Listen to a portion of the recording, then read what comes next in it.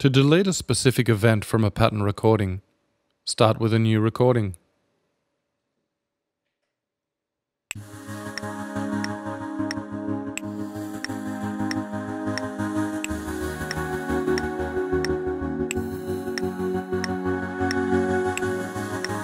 Adjust a controller.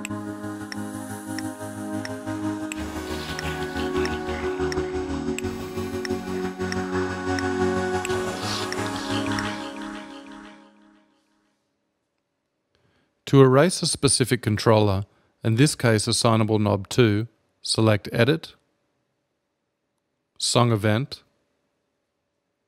Erase Event, and set the end measure to bar 5, making sure all four bars are selected.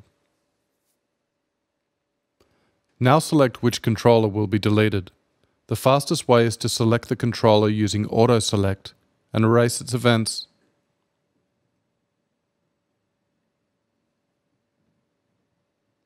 Finally, adjust the controller value and have a listen.